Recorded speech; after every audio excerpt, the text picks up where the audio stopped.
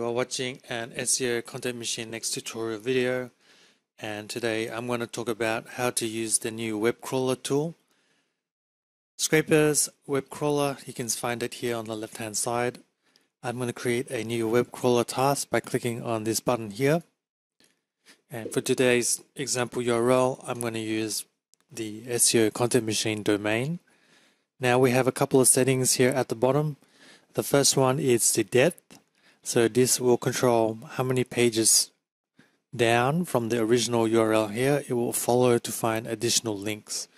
So for example, it goes to SEOcontentmachine.com, it finds a whole bunch of links, and because it's step one, it's going to exit and save those links to a file.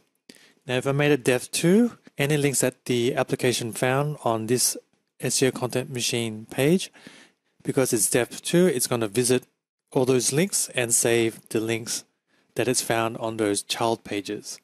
That three obviously means it's going to go to homepage, child page, and then follow up once again to go to another child page. So three levels down to find more links. We have the max links to crawl setting as well. So this controls the maximum amount of links to visit. If you have it at minus one, it's unlimited. So it's going to follow every link it's found. For the interest of time, I'm going to limit the number links scrolled to 10.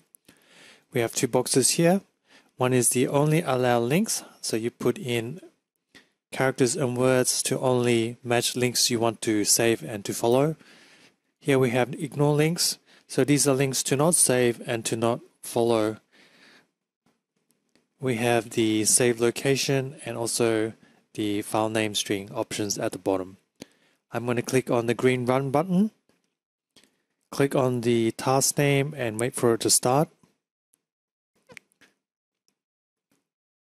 So my so my task now has started running and we can see its progress here in the task log. It's visiting the SEO Content Machine homepage. It's found 42 links on that page. 33 Links on that page were added to the to crawl list. There were 41 unique links on that page. So it's done one crawl. It's also done the second crawl now out of 10.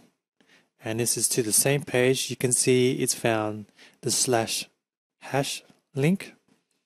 If you wanted to make this process more efficient, you could put a hash as a ignore link because it's just visiting the same URL twice. It's gone and visited some new URLs on this list here. It's found some nine links on the plans and prices page. And it's added that to the total list of found links. So not all links on that page were unique to what it's already found. We can see it's found actually a PNG file and it's gone and followed that and tried to index that.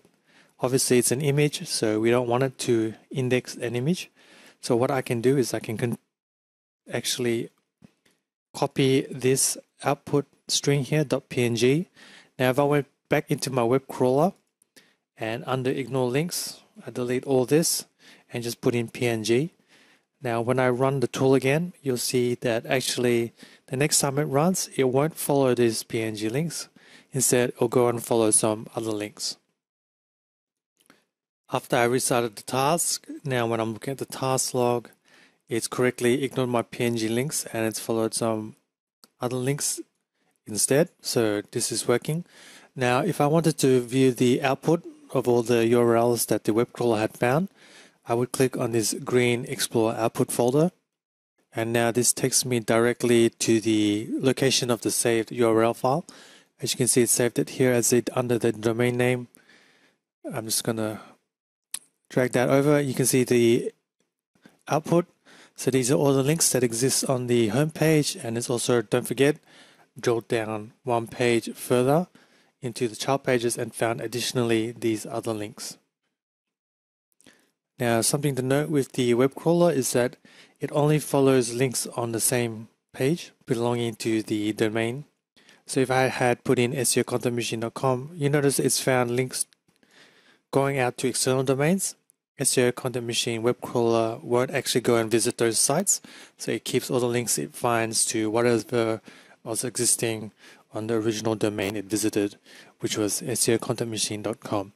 Now, if I did want to actually go and filter these links out, be pretty easy. All I need to do is copy this domain name, SEOcontentmachine.com, and in the allow only links, I would just do copy and paste. And this would do two things. One, it will stop the web crawler from saving non SEO content machine links that are external. And secondly, by default, it also never visits those external links. So this is how you can filter them out from your results page. If you have any questions on how to use this tool, please feel free to make a comment in the section below this video or send an email info at seocontentmachine.com.